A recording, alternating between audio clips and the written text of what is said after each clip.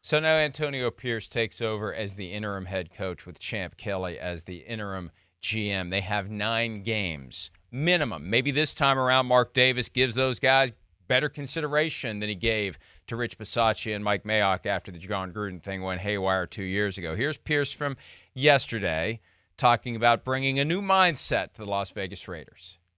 Uh, it's never easy when you lose a, a teammate, a coworker, uh, somebody you're close with. Uh, we take that very seriously.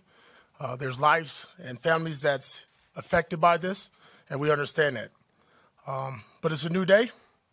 It's a new chapter. It's a new era. It's a new mindset. I told them when they walk in this door, I need to feel them. They're going to feel me 100%, but I got to feel them. I need that personality. This building needs personality. When we walk in here, everybody in here should be smiling. We all got a job. We're doing something. We're covering the greatest game in the world, the National Football League. And if you're not excited about that, there's something wrong with you. Was there a lack of excitement before? I mean, being that that's something that needed to be addressed, what was the atmosphere like before? Um, I, I don't think that it was not addressed. It just you got to embrace it, and it's being embraced now. Antonio Pierce, interesting choice to take over and have this opportunity. I'm Yeah. looking at his coaching resume. Now, he played in the NFL for a long time with Yes. Washington and the Giants. Right. He was a high school head coach at Long Beach Poly from 2014 through 2017. That was his first coaching experience. Arizona State with Herm Edwards as linebackers coach and recruiting coordinator. Right. 2018, 2019. 2020, he was at Arizona State as associate head coach, co defensive coordinator, linebackers coach, and recruiting coordinator. And he was caught up in what brought Edwards down. Yeah. And I think he may have been the point person in this whole whatever it was that got them afoul of the NCAA bylaws. And his crash landing spot was with the Raiders in 22 as linebackers coach. So his NFL coaching experience is completely confined to being a member of Josh McDaniels' staff. So interesting choice by Mark Davis to make Antonio Pierce the interim head coach when you consider he hasn't coached a lot, he hasn't coached in the NFL for very long at all, and there's this whole Arizona State thing floating around out there that he was involved in that helped bring down Herm Edwards. It really is. It's just one of those things. It's like, okay, Yeah. hey, Yeah. Mark Davis, you're the owner. Right. You can make whoever you want the interim head coach. Right. It- at least it wasn't Jeff Saturday. Let's see what Antonio Pierce does. Yeah, no, I, I mean, l- let's see, right? I mean, first off, Antonio Pierce, uh, you know, knowing him, play, I played against him a little bit. I mean, he's he's a real football guy. He really is. He loves it. He lives it. He thinks about it all the time.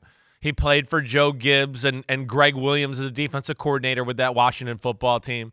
Of course, played for Tom Coughlin and Steve Well, Spagnuolo and So we're that. gonna have bounties. Are we gonna have bounties in, in Well, Las Vegas now? well, Gregg you know, Williams. Gregg Williams. I know. I get mentioning Joe Gibbs. I don't know about mentioning Gregg Williams. Well, Gregg Williams was a damn good defensive coordinator. I'm not saying I, I condone his activities as far as bounty gate, right, and all that, but let's be freaking serious. The whole league was doing bounty gate stuff, all right, it. as we know. So let's not just I like, you know, well, chop- no, the league was doing it wherever Gregg Williams was. We Well, know yeah, that. and there, you're right, right. There was a path. I agree. Right. I agree. It was a cultural thing. Yeah, it was a I cultural thing, right? Right. So, because I was I was on a team that kind of played the bounty gate game a little bit there. So uh, it, it's just the, the way it was a little. Um, but moving on, either way, he's got Moving some along. pedigree there, you know, and and. I do think he embodies like the Raider way as far as in your face. I'm gonna say it how it is. We're gonna have energies, we're you know, an energy and a badassness about us, right? That didn't necessarily fit Josh McDaniels. He's not that guy.